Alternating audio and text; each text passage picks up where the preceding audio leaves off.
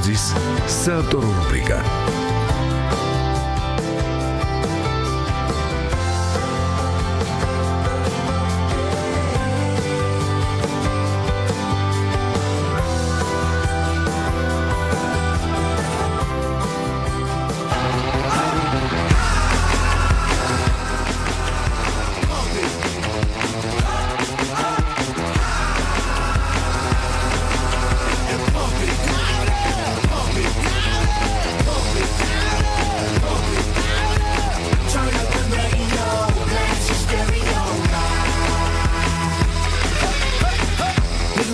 აბა რატომ დავიწყეთ ამ სიმღერით საუბარი? სხვადასხვა ანუ ასოციაცია პირველი რაც შეიძლება გაუჩნდეს კინო მოყვარულებს და ზოგადად მუსიკის მოყვარულებს არის ეს სერიები ტაქსი, ერთი ტაქსი, ორი ტაქსი, სამი ტაქსის ფრანგული ფილმი, რომელიც ძალიან პოპულარული იყო და შესაბამისად ასოციაცია ჩდება ამ ფილმზე. და რატო დავიწყეთ ახლა ტაქსის საუბარი? აი ეს არის მნიშვნელოვანი გთავაზობ რუბრიკას პროფესიონალი, რომელიც კვირაში ერთხელა და ყოველ ამ ერთ გადაცემაში სხვადასხვა პროფესიის წარმომადგენლებს მას პინძლობთ ხოლმე პირდაპირ ეთერში. ამ შემთხვევაში ჩვენ არჩევანი გავაკეთეთ.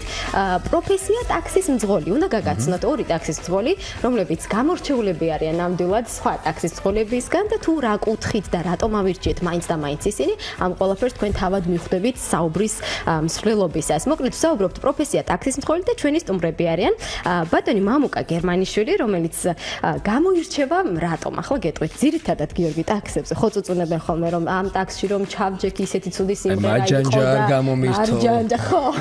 ზედათ სოციალურ ქსელში არის ხოლმე ამ ტიპის სტატუსები და კომენტარები. აი ბატონი მამუკა შემთხვევაში ნამდვილად არა. გაგიმართლა თუ მოხდით მის ავტომობილში, ესე იგი უნდა მოსმოთ გემონებიან მუსიკას. კი, როგორც ვიცით, ჯაზს ასმენინებს თურმე. არც მეტი არც ნაკლები. და მხოლოდ მოსმენით არ შემოიფარგლება, თან მოკლედ ისტორიებს ყვება ჯაზთან დაკავშირებით და ასე შემდეგ ასე. საგანმანათლებლო დანიშნულებაც აქვს ამ ტაქსის. გარდა ამისა, სამხატვრო აკადემია აქვს მას დამთავრებული. ასევე მღერო და ხალხურ სიმღერებს ანსამბლში, ასევე ჯგუფიც ჰქონდა, სადაც ჯაზ როკს უკრავდნენ და მოკლედ ძალიან საინტერესო ესეთი ბიოგრაფია აქვს. ახლა კი წარმოგიდგენთ ჩვენს მეორე სტუმარს, რომელიც გამორჩეულია მხოლოდ მხოლოდ აქედანო დავიწყოთ უკვე საკმარისია. ის არის გოგონა. ქალბატონს ვერ დავარქვევ, იმიტომ რომ გოგონა არის და უკვე გარკვეული პერიოდია, რაც არის ტაქსის ზღოლი წლებს მოიცავს სწორედ ეს და საინტერესოა რა თქმა უნდა ამ ნიშნით რატომ გადაწყვეტა მან და როგორი დამოკიდებულება აქვთ ხოლმე მგზავრებს, როდესაც გააღებენ კარს და დაინახავენ, რომ უი, აღმოჩნდა გოგო მძღოლი. მოკლედ, ჩვენი სტუმრები წარმოგიდგინეთ უკვე დილომშვიდობისა მოგესალმებით. მერი მძელური არ მithქვამს მე მგონი, მოგესალმებით. გამარჯობა. მადლობას გიხდით იმისთვის, რომ მოვბრძანით დილიდან ჩვენთან და მოკლედ უნდა ვისაუბროთ ამ პროფესიის ავკარგიანობაზე. მოდი დავიწყოთ თავიდან. კარგი კარგიანობით რო დავიწყოთ. ხო, ზირთად კარგებზე გავმახვილოთ მაინც ყურადღება. მე დავიწყოთ თქვენიდან, იმიტომ რომ საინტერესოა ხომ, რატომ გადაწყვიტე მაინც და მაინც რომ აი ტაქსის მძღოლი უნდა გახდე და ეგრეთ შორის არალეგალი არის ტაქსი ტაქსის მძღოლებში, იმიტომ რომ მას არა აქვს ორი დიპლომი და შესაბამისად, ანუ არალეგალად მუშაობს. მერი მოგვიყევი აბა. ნამდვილად შემოპარული ვარ და არ მინდა რომ ვიყო შემოპარული, ზუსტად მაგიტომ გადავწყვეტე რომ წელს ჩავაბარო. ანუ შენ ხარ აბიტურიენტი ახლა, ხო? ვიყო უკვე დიპლომიანი ტაქსის მძღოლი, კი. ძალიან კარგი. და მაგრამ როგორ დაიწყო ყველაფერი? რატომ? ხანი? პირველად, როდესაც გადაწყვეტე რომ გზავრი უნდა ჩაისვა მანქანაში და A პუნქტიდან B პუნქტამდე მიიყვანო. როდის იყო ეს? გამომდინარე იქიდან რომ ჩემ მეორე მთავარ სამსახურში მხოლოდ 4 დღე ვმუშაობ კვირაში და 3 დღე მქონდა თავისუფალი და შესაბამისად დამატებით შემოსავალი არავისთვის არ არის ცუდი, გადავწყვეტე რომ დრო უკმად არ დამეკარგა და მქონოდა და უფრო მეტი შემოსავალი, რაც ჭირდება ჩემ განათლებას ამ ეტაპზე. ბატონო მამუკა, თქვენზე საუბარი ცოტა შორიდან უნდა დავიწყოთ, იმიტომ რომ საკმაოდ ისეთი საინტერესო ბიოგრაფია გაქვთ, მუსიკა გიყვართ განსაკუთრებულად ამას უკვე მივხვდით. აი ეს როგორ გაბრენდეთ, ასე ვთქვათ, თქვენი ტაქსის ნიშანზე, ერთ ერთ მხარეს აწერია ტაქსი და მეორე მხარეს ჯაზი და ეს ძალიან საინტერესოა. მე კიდევ ერთხელ გეტყვით, შევამჩნიე ეს და ძალიან ვერ დავეწიე, რომ ფოტო გადამეყო რა მიყვებოდი. მე კიდევ ერთხელ მინდა შევახსენო ჩვენ მსმენელს, რომ არც ერთ კომპანიას ისინი არ ეკუთვნიან, არიან დამოუკიდებელი ტაქსის მძღოლები. გისმენთ ბატონ მამუკა. კი, ჩვენ თავისუფალი ტაქსის მძღოლები ვართ. დიახ. ქრისტიანები რო ნუ ტაქსის მძღოლობა სპონტანურად გადაწყვიტა, იმიტომ რომ ნუ შემოსავალის ძებნის დროს დიახ. ერთ-ერთი საუკეთესო საშუალება აღმოჩნდა. კი, ну როგორც ხდება ხოლმე. ხდება. და ჯაზი ეს ესეც სპონტანურად გამოვიდა ჯაზი რო დავაწერე, იმიტომ რომ ზუსტად იმდენივე ასოების რაოდენობა და წავშალე ის რა ზედმეტი იყო. და თო ხო.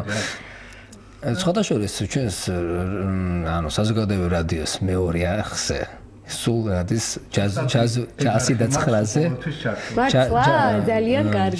ჯაზ სტანდარტები ხშირად. ჯაზ FM-ს სთავ ხოლმე, mm. მაგრამ ძირითადად მაინც ჩა სტანდარტები გადის, ძალიან გემოვნებიანი მუსიკა და შესაბამისად, ანუ თქვენს ფორმატში ჯდება, თქვენი ტაქსის ფორმატში ჯდება ჩვენი რადიო ამ შემთხვევაში. ბატონო მამუკა, როდესაც მგზავრი ჩაგიჯდებათ მანქანაში და ну ძირთად რა ქნათ ასია стереოტიპულად თუ რეალურად არის ასე რომ რაღაც ცოტა ისეთ უხარისხო სიმღერებს უსმენენ ხოლმე, გარკვეულ შემთხვევებში შეიძლება ყოველთვის არა. თქვენთან როდესაც ჩასხდებიან მგზავრები და თავაზობთ სხვადასხვა კომპოზიციებს ჯაზურ ვერსიებს როგორ რეაქცია აქვთ ხოლმე არ უკვირთ? აა კი, თავიდან უკვირთ. ნუ გააჩნია მგზავრსაც, მაგალითად მე ერთი მგზავრი ჩამიждდა და აა ნუ რაც იყო რადიო, რაზეც მეყენა, ეთყობა არ მოეწონა და ეხლა მეო ისეთ არხს დავიჭერო, რომ საერთოდ არ გადართავი მარხიდან. ეძება, ეძება და ნუ მოგეხსენებათ რას დაიჭირა. არ ვიწყდი იმ რადიო გამართ. ну მეც დავეთანხმე კი ეს ძალიან კარგია მეთქი და ავჭალიდან ფლეხანოვამდე გაუძელი. გაუძელი. გაწამა ხო. მერი შენ შემთხვევაში მაინტერესებს რეაქციები იმიტომ რომ რომ გავაღებე კარს და დაინახავენ რომ გოგოა. რა რეაქცია აქვს ხოლმე ხო ყოფილა შემთხვევები რომ აი იყოს არ მინდა რომ ეს ხალი მძღოლი რატომღაც ითვლება რომ არც ისე კარგი მძღოლია. ხო ყოფილი ერთადერთ ხელი ყო მხოლოდ შემთხვევა რომ ქალმა რომ გამოაყო და ვაიმე საჭესთან შენზე ხარო ესე ძალიან შეეშინდა მაგრამ რაღაც მანძილი რო გავიარე მიხვდა მე რომ არ იყო საჭირო არაფერი იმიტომ რომ ფიქრობ რომ მანქანას ნამდვილად კარგად მართავდა არ ვარ ის стереოტიპი რომ ქალი მძღოლი ჩვენ ქვეყანაში უფრო საერთოდ არ ვარ. ხილვად ქალია საჭესთან და სექსისტური განცხადება. მამაკაცები რას ამობენ ხოლმე? გენდობიან? კი, მამაკაცები უფრო მენდობიან, მაგრამ რაღაც როგორი ინტერესიც არის. ესე ერთგვარი ინტერესია. მორიდებულად არიან უფრო და კი, კი, კი, ძალიან მოწონთ, მაგრამ მაინც უფრო მორიდებულები არიან. ანუ ძირითადად ლაპარაკით უფრო ქალები და გოგონები მელაპარაკებიან ხოლმე ისინი ცოტა არ ვიცი შეშინებული, შეიძლება, მაგრამ მაინც მორიდებულად არიან. პოლიტიკაზე საუბრობთ ხოლმე. აი ეს ბანალურ ერთ-ერთი ყველაზე ესეთი გაყიდვადი თემაა როგორი? ხო რა რეიტინგული ტაქსის მძღოლებთან და მე მაქსიმალურად ვთვლი ხოლმე ამ როგორც კი რაღაცა არ მოწონთ ხოლმე. ანუ რა თქმა უნდა ძირთად არ მოწონთ ხოლმე. ზოგადად მართლობაში ან პირობები ან ქსები ან რაღაცა ანკესებს აგდებენ ხოლმე რა რომ მე წამოვიგო და მე ამას არ ვეკები და ძალიან აწყენების ხედა ხოლმე ცოტა გაგუტულები რომ მე ვერი საუბრეს ვერ მოიოხეს გული მე კიდე ყოველთვის როდესაც როდესაც ტაქსის ვსარგებლობ, ყოველთვის ვესაუბრები მძღოლს, იმიტომ რომ მგონია რომ თვითონ რომ იწყებს საუბარს და მე რომ არ ავყვე რაღაცა მგონია რომ რაღაცა არ ესიამოვნება და არ მინდა რომ აგრძნობინო თავი მხოლოდ მძღოლად, ხო? ყოველთვის ძალიან ბევრს კლიკინებ ხოლმე გზაში, ყვები ყველაფერს. მე მაინტერესებს თქვენ ძალიან საინტერესო ამხრი, ხო? ტაქსის მძღოლობა, იმიტომ რომ რამდენი ტიპის ადამიანთან გიწევთ ურთიერთობა? აა თქვენ რომ მოგვიყვეთ ამ კუთხით, აი ყველაზე გამორჩეული რა გახსენდებათ, მგზავრი თუ გახსენდებათ რომელიმე, რომელმაც აი განსაკუთრებულად დაგამახსოვრათ თავი. აა ყველაზე ესეთ სამბესტავი მგზავრები მყავდა, ანუ ბევრი მყავდა, მაგრამ ორი განსაკუთრებულად შემიძლია გამოყო. ეს იყო ბატონი თათუზა თამასყურაშვილი, შალის მეტრი, რომელიც ძალიან მიყვარდა მის მუსიკაზე გავიზარდა, პატიურად არაჩვეულებრივი ადამიანი. და მეორე იყო გიორგი ლიპარიშვილი, ეს არის ჟურნალისტი, ძალიან კაი კაცი, რომელიც ნუ კორპორატივზე მიდიოდა გამაჩერა როგორც ტაქსი და იმის მერე დავმეგობრდით. ძალიან ბევრი კაი საქმე გავაკეთეთ, ჩემზე უამრავი სიუჟეტია გაკეთებული და დიახ დღესაც მეგობრობთ ძალიან ჩვენი ჩვენი მეგობრები როგორც პირადი ისე ჩვენი გადაცემის და ხშირად ხშირად არის ხო მე რიგახსენდება რომელიმე ესეთი შემთხვევა აბა დაფიქრდი. ხსენდება ერთი ქალიმა ალბათ არ დავიწყდება არასდროს რომ გამოიძახა ტაქსი და სახელი რომ დაეწერა მერი გამოდის და მეუბნება რომ ვაიმე რომ დაეწერა მერიო ვიფიქრეო რომ რა დრო დადგა ტაქსის თვალ კაც მერი ქვია. კარგია. საერთოდ არ წავიდა იმ კუთხით რომ შეიძლება და გოგო ყოფილიყო, არა, ტაქსის თვალ კაც მაინც და მაინც დაუშვა რომ აჰა, კაც ერქვა მერი. კი. უფრო დასაშვები იყო ვიდრე ის რომ შეიძლება და ყოფილიყო მერი. სხვადასხვა მე ვიცნობ ერთ სხვა ტაქსის გოგონასაც რომელიც ძალიან რომელსაც მას ძალიან ისეთი სტაჟი აქვს უკვე მძღოლობი, ძალიან გამოსტილია და სხვათა შორის რა ვიცი პირველი იყო ვიც გავიცარე. ხო, გოგონა ტაქსი მძღოლ და ძალიან სხვათა შორის ხელი ქონდა მოტეხილი. ეს იყო ეს იყო ძალიან საინტერესო და მექანიკა მექანიკური კოლოფი ქონდა და აი ისე მაგრამ დატარებდა თან საინტერესო რა ისე მარცხენა მარჯვენა ხელი ქონდა მატეხილი და მარცხენა თირ თავზე საოცარი საყურებელი იყო და ძირთად ვეუბნებოდი ხოლმე რომ აი მე მე მურეკავდი ხოლმე ხშირად დავყავდი და მურეკავდი ხოლმე გეხოცები რა მე მოგცემ თქო ცოტა მეტ ფუსტკო და არია რა თქო მე წოდებოდა რომ რამეს არ დაეჯახოთ თან წარმოვიდგინეთ ახლა მე კი ვიცნობდი მეგობრობდი მაგრამ ვიც არის ნოს და ტაქსი მოდის გოგონა და ხელი ხაბაში საინტერესო შევთხება ჩვენ კი რომ დადებით მხარებზე ვისაუბროთ, მაგრამ არის რეალურად რაღაცა რეალური მხარეები, თქვათ, ამ პროფესიის. აი მაგალითად, ხუთ ყველაზე დაუფასებელ პროფესიათა შორის არის ტაქსის მძღოლიც. ну გარკვეული მიზეზების გამო. ყოფილა მართლა ის შემთხვევა, იმიტომ რომ ბევრჯერ გამიგია და ხა მაქვს საშუალება რომ გადავამოწმო, რომ აი მაგალითად მიგიყვანენ კონკრეტულ პუნქტამდე და თანხას აღარ იხდიან, ან ცოტა ისე უხეშად იქცევიან. რეალურად ყოფილა ეს შემთხვევები.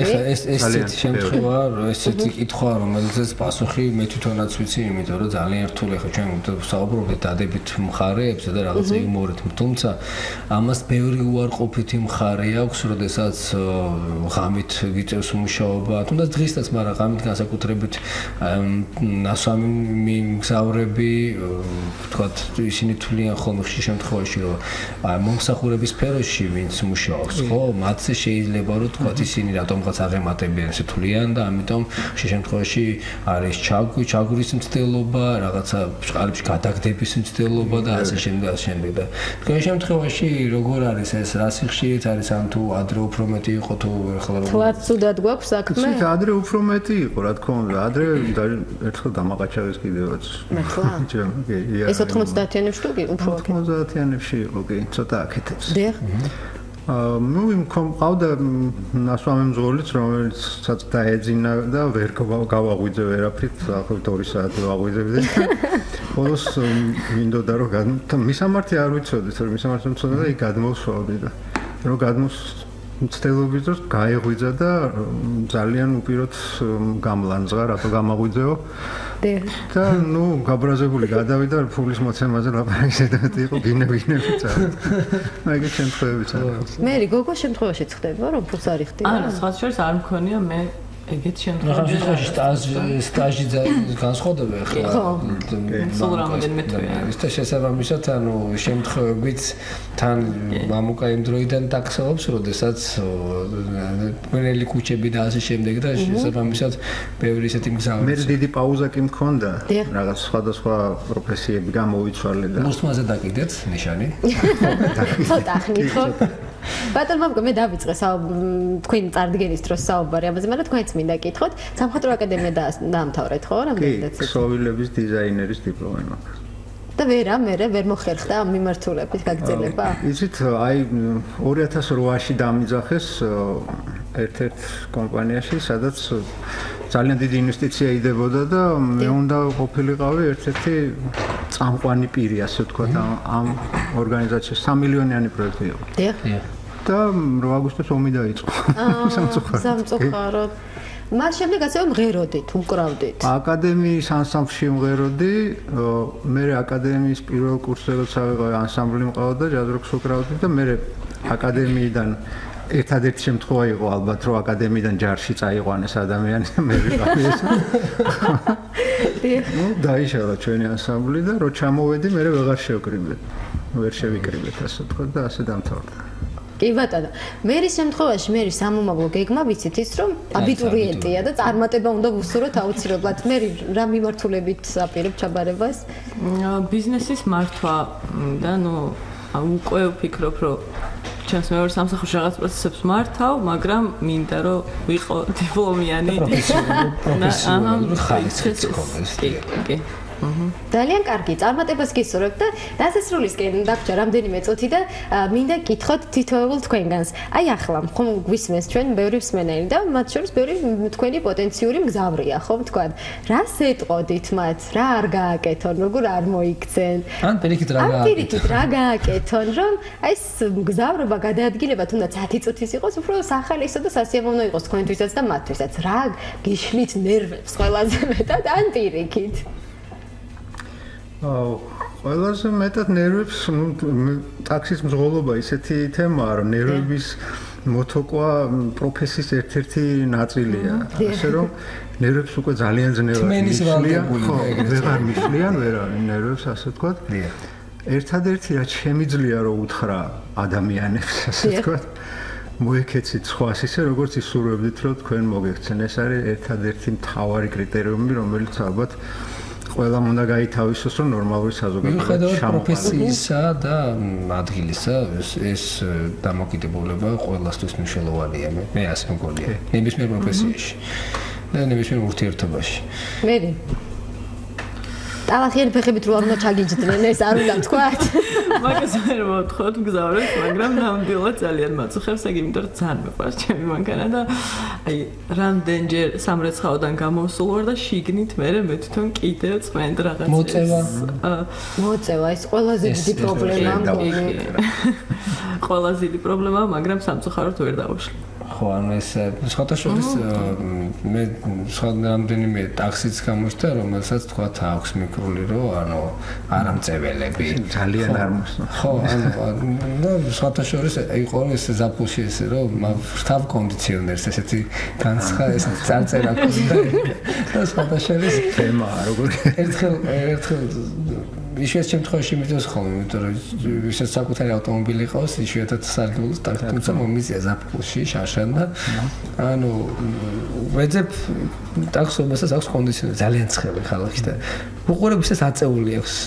შუშები და შესაძლოა ეგრე დავგოიმდი. აწეული ქონდა შუშები და ანუ სწორედ იმიტომ რომ მე ფიქრე რომ კონდიციონერი ქონდა გუდებოდა საუნაში ჩავჯექი. მე ვთხარი აი გამაბითქო რა. გამაბითურეთ.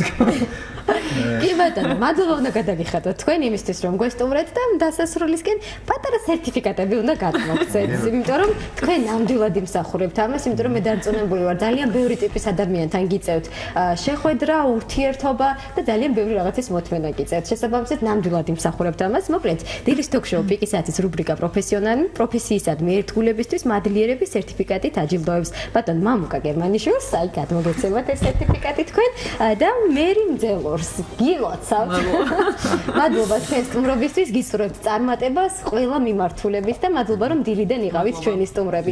გემშვიდობებით და თქვენთან ერთად უნდა დავიმშვიდობოთ ჩვენს მსმენელსაც. მე კიდევ ერთხელ ვიტყვი რომ 109 სიამოვნებთ. მე თვითონ სიამოვნებთ უსმენ არ ამიტომ რომ ჩვენი რადიო სიამოვნებთ. და ნებისმიერ კაფეში სადაც შევდივარ ყველგან ეს მოხდება. ამიტომ ბატონ მამუკასთან პირდაპირ კავშირშია ჩვენი რადიო 2 ასე რომ მუდმივ კავშირში. ხო და ასე რომ ბედნიერ მზავრობას გისურვებთ რადიო 2-თან ერთად მოკლედ. მადლობა თქვენ მადლობა ჩვენს მენელს რომელიც 2 საათნახევრის განმავლობაში გვისმენდა პიკის საათი დასრულდა მაგრამ წინ ბევრი საინტერესო გადაცემა გეილთ ასე რომ აუცილებლად დატოვეთ თქვენი რადიო მიმღები ტალღაზე FM 102 და 4 გიორგი სოფიტაშვილი და ვანაბლიაძე მუშაობდით თქვენთვის FM 104 და 4-ზე. დროებით.